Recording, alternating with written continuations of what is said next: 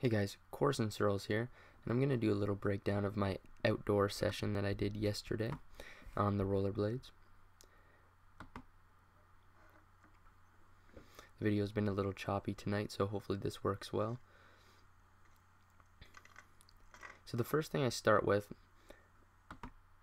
and the reason that I'm starting with the Gaudreaus is what they're called, is because I want to kind of work on my Dahlin style skating. So his strengths are Gaudreaus, um, the Dahlin stride, which is a Gaudreau uh, that quickly flows into a hip scissor, and then hip scissors are key, as well as the key mechanics that he uses to execute these movements.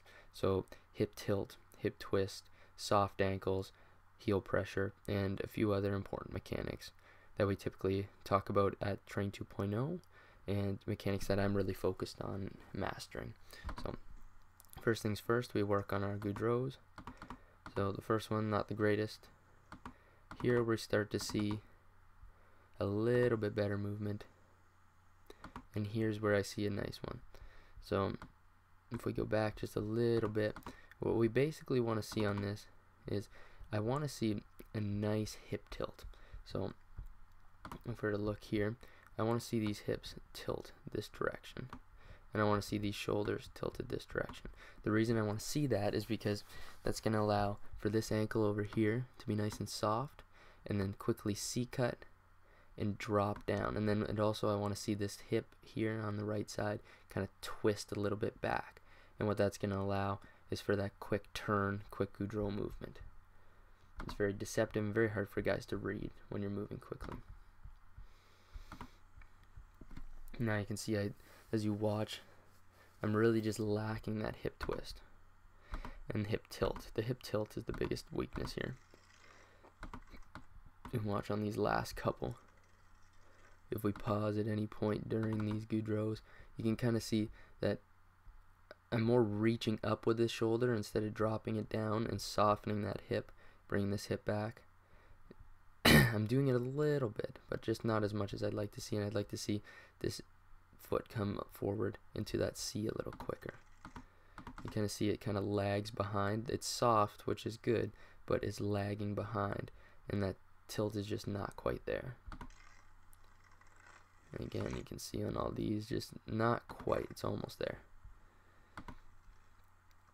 Now on this one, what I work on is I'm working on striding and then Gaudreauing. So again, the shoulders now, I'm dipping those shoulders a little better, but now I'm kind of lacking that hip drop. So again, really want to work on that next time, as I'm noticing here. The stride. You can see like this one, the hip kind of softens, which is nice to see. So you can even see the angle of my shirt the hip is actually kind of tilted like that which is what I want to see on every movement and I want to see this foot kind of coming forward this knee coming over top of the foot which means that I have really good ankle flexion and then the soft ankle like I just said.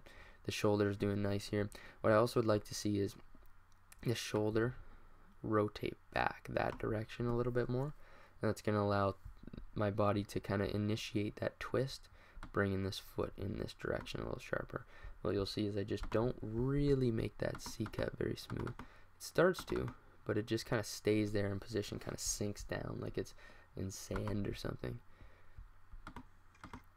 And you'll see it one last time. Again, now we're starting to get that hip tilt. I really noticed that I wasn't doing it at the beginning, and now as I'm doing the stride to Gaudreau, you can see that tilt is happening nicely. So I'm really liking that improvement that and that adjustment I made right away without needing to look at the video. So this one, now I'm working on the Gaudreau to a hip scissor, which we call the Dahlin at Train 2.0. So we Gaudreau here, so you can see that Gaudreau. This is a poor one. There's absolutely no hip twist or hip tilt or twi or twist here. Very weak on the twist. And then what I want to see is that ankle soften out, go on to roll onto the outside edge here, and then come forward and then this inside edge cuts smoothly. Now these aren't the greatest. You can see I'm kind of starting to get it at the end. On the way back, I think I do a couple good little sets here. Yeah, so this kind of shows what I'm aiming for to be more consistent with. So you can see, if you look, as I do this, so I Gaudreau, which again, not twisting those hips. I'm kind of cheating these a little bit because I think I know I'm going to roll that edge over.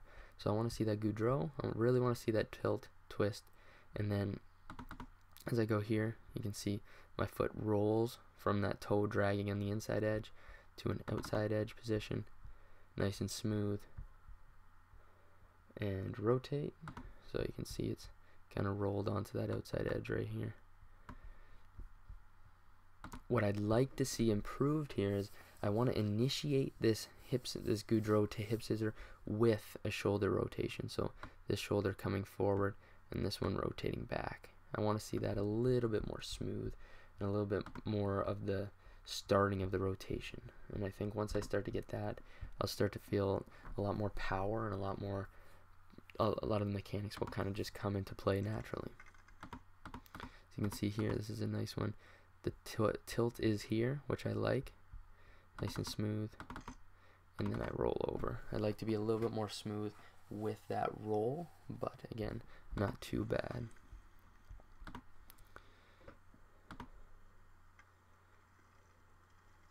So this one I'm kind of anchoring, so digging that those anchors in. I like this one. You can see my shoulders are rotating really well. On the way back, you'll see it. You can see my shoulders are kind of initiating this rotation, coming around, and then the anchor pops, inside edge cuts here. Nice. I'm liking these ones. So you can kind of see my shoulders already rotated before my hip starts to rotate. So very good stuff.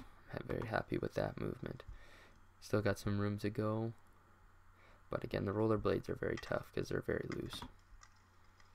So this one. So now I'm going to throw the green biscuit in. What I'll do is I will get rid of the sound so you guys don't have to listen to that. And what we'll see is when we Gaudreau here, the Gaudreaus look very nice. So this is more what I want to see, this tilt right here. So it seems that when I add the puck in, for some reason it kind of causes this tilt and this tilt here. I'm not really sure exactly why. I'd be interested to hear what you guys think. Smooth and cut out. Let's see how I do it on this side. Not too bad. Seems to be from backhand to forehand. I really get that movement in. So from forehand to backhand, I want to see a good fake to the right side and then a hard cut to the left. And I really want to see those hips tilt, shoulders tilt. Going to repeat this stuff because to me it's very important and it's the stuff I want to improve. So you can see I started to get these here. It's the same thing. It's always the one side struggles I uh, lose the puck and they get stuck on my blade there. Kind of weird. Alright, what, what did I do here? Can't remember. So, Gaudreau. So working on the downs with the puck now.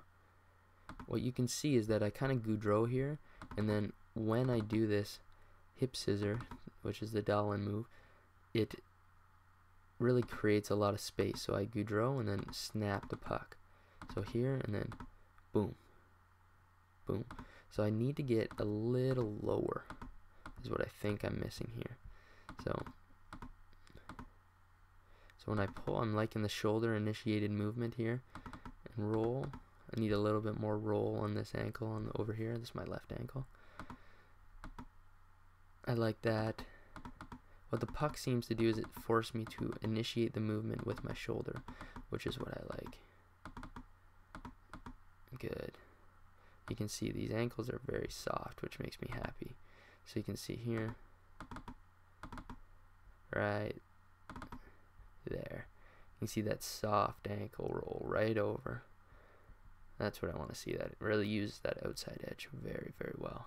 Very happy with that as well. Sorry about the voice, guys. I just have to really make sure I talk low. I don't want to be too loud and annoying for my parents. So this one, Gaudreau, Dahlin, and Cross Gaudreau, Dahlin, and cross. Biggest thing on these crosses, I really want to use the heel pressure and twisting the hips. So we'll watch on the way back. You'll get a better view of it. So watch from here. So we want to Gaudreau here. Not too bad. The shoulders are initiating the movement, but not a lot of hip tilt. It's okay. So this one, we stopped doing the cross. I just did the Dahlin, the Gaudreau to the hip scissor.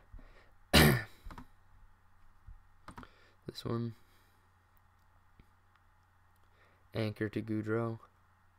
Just combining movements here. I really like the way I move with the puck.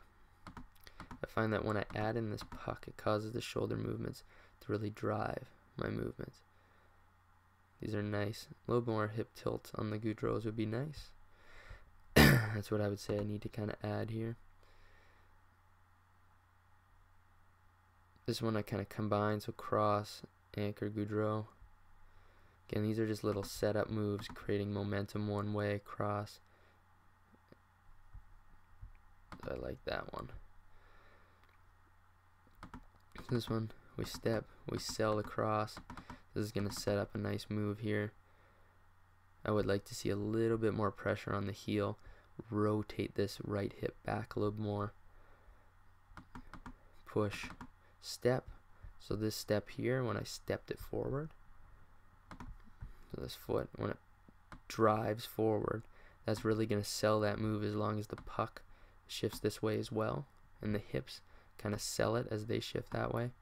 Every Everything here is really just pointing in this direction. It's like there's no way I couldn't go that way to a defender, right? And then when we make this move, then it's just that step. Now it looks like I'm definitely going that way. I've committed now. Okay, I have to go this way. It's a second time now. And then, boom, cut back. Keep the puck outside. I like how I create this hip wall because if a player is trying to poke, there's kind of a, a, at least something blocking that puck.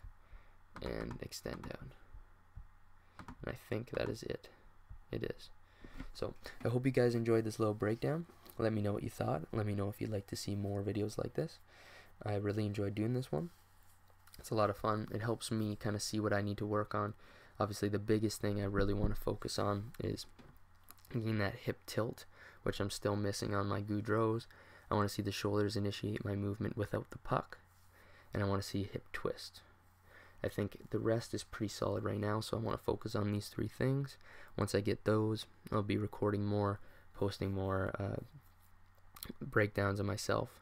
Um, I might do some videos of some other players if they're interested in me breaking down their stuff as well.